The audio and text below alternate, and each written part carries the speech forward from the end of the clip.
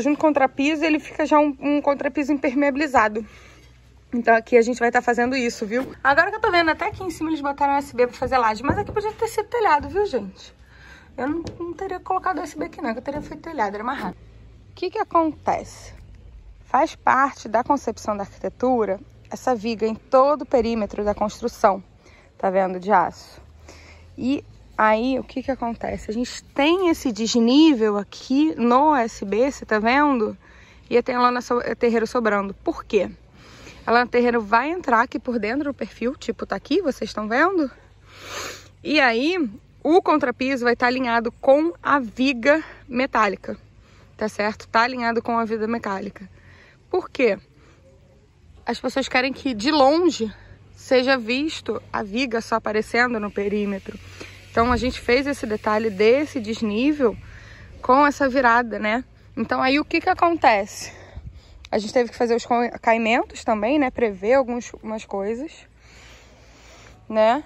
E aí, oh meu Deus, olha eu nessa borda. Eu não vou ficar na borda. Não vou, não vou, senão depois vão me matar. Então o que que acontece? O contrapiso ele vai estar tá entrando bem nessa fresta e vai estar tá alinhando com a beira da viga metálica. E aí depois a gente corta o contrapiso. O contrapiso é ótimo. O plástico a gente corta depois o plástico. Tá vendo a lana terreiro? Entendeu? Esse detalhe é importante. E aí por isso que eu falo, as pessoas acham que só existe uma solução. Não, cada projeto a gente tem que estudar um detalhe, uma solução, né, para a concepção da arquitetura, né, para o que o pessoal mais quer na arquitetura. Isso aqui é importante. Entendeu? Bacana, né? Tô empolgada olhando aqui essa laje. Todos os detalhes.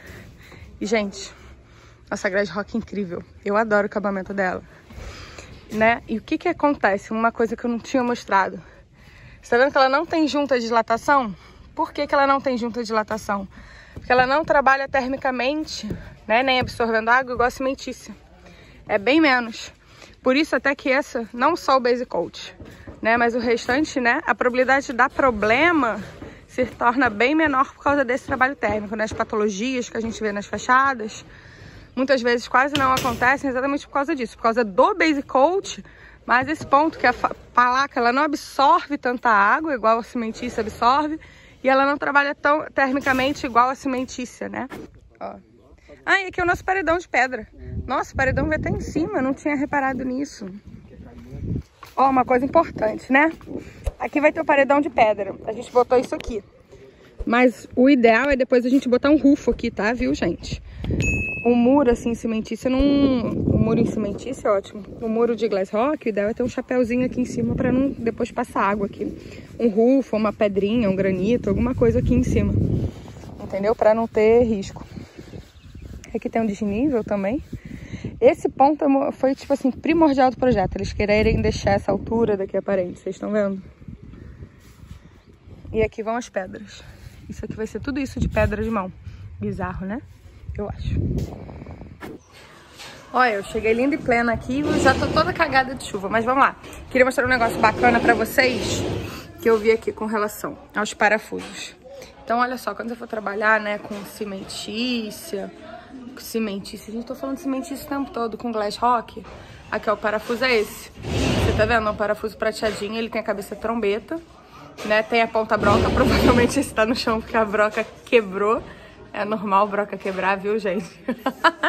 é normal broca quebrar. Não fique chateado se sua ponta da broca quebrar. E ele é um parafuso assim, meio fosco, tá vendo? Porque ele normalmente tem um tratamento galvanizado, né, de zinco, muito superior, muito superior. E ele fica fosco, não é brilhante, tipo o perfil. A galvanização do parafuso é superior do que a do perfil, pra você ter noção, muito maior, porque ele fica bem mais exposto que o perfil, né? E alguns até não tem um tratamento zincado, ele é organometálico que eles chamam. Não sei o que é organometálico. Já tentaram me explicar, mas eu não lembro o que era não, não gravei não, não assimilei o organometálico, mas é um negócio superior. E eu quero mostrar uma outra coisa muito interessante para você sobre parafuso. O que que acontece? O que que eu gosto de fazer? Como é que eu fixo a parede do andar de cima no andar de baixo? Eu gosto muito de usar parafuso de tipo de telha, grandão. De telha mesmo. Por quê? Porque ele é compridão. Ele atravessa tudo, tipo assim, tem placa USB, por exemplo. Aqui tem placa USB, né? Tem placa USB, mas ele atravessa a placa USB e vai lá embaixo na estrutura de aço. Então, eu gosto muito de trabalhar, tá vendo? Com parafuso OSB, tá? OSB, ó, parafuso de telha para fixar o meu andar de cima no andar de baixo, por causa do comprimento, né? A cabeça mais larga, né? Ele tem uma bitola maior, ele tem mais rosca. Ele foi feito para carga de vento, não arrancar o telhado, né? E o que a gente tem que prestar muita atenção nesse momento é isso aqui, tá? Isso aqui é muito importante. E você que vai estar tá olhando, tem um olho crítico aqui no vídeo. Você vai falar, ih, meu Deus, tem uns pontos de ferrugem. O que acontece? Isso não é ferrugem. Quando a gente fura o perfil, saem essas rebarbas, tá vendo? Do parafusinho.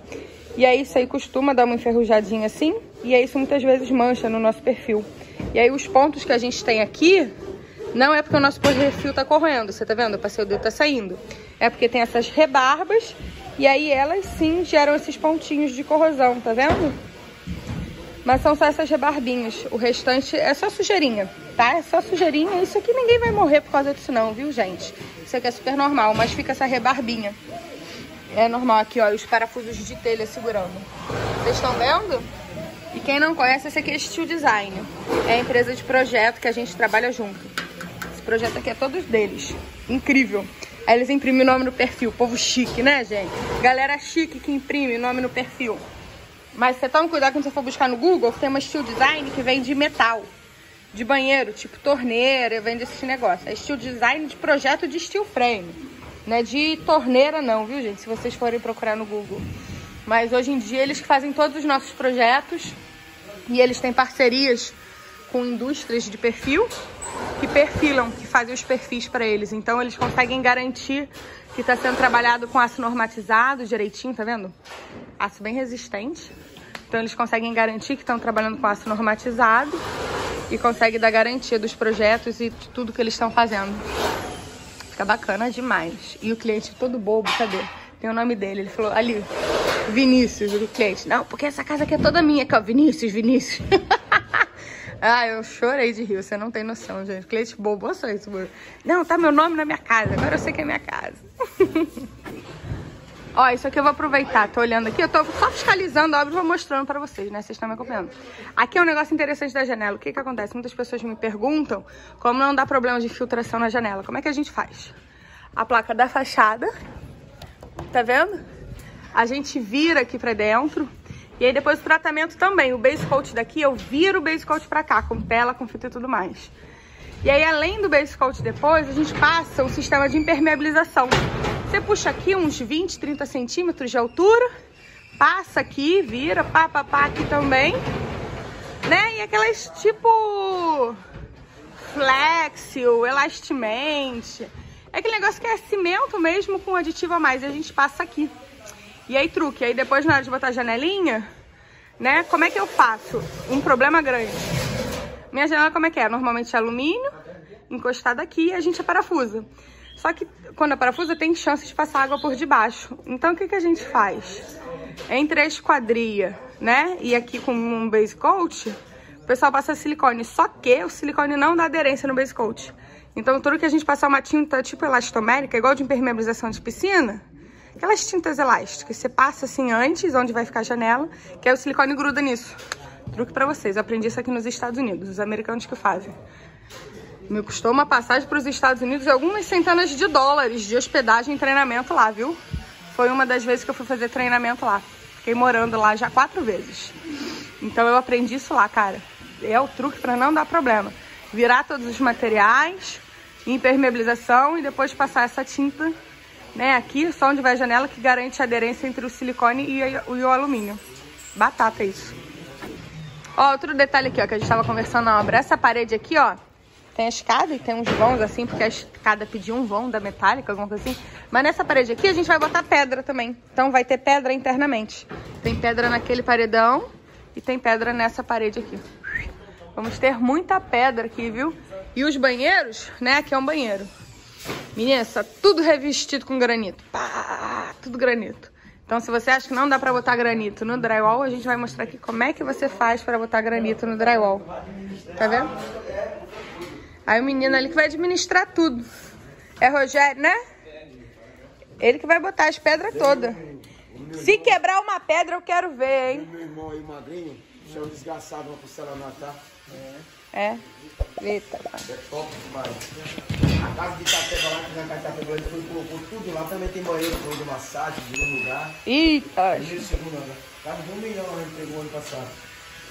Top demais a casa também.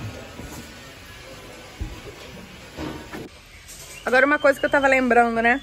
Você sabe que a Glass Rock X, essa placa daqui, eu trabalho com ela desde 2014, final de 2014 e 2015. Foi a primeira vez que eu importei. Essa placa é tão boa, tão boa, tão boa, que quando o dólar permitia, eu importava ela, gente. Eu trazia ela importada. Trazia esse negócio de container para usar nas minhas obras. Por quê? Ela não dá dor de cabeça. A probabilidade disso aqui dar alguma patologia, tipo assim, ó, mínima. Sabe o que é mínima? Mínima.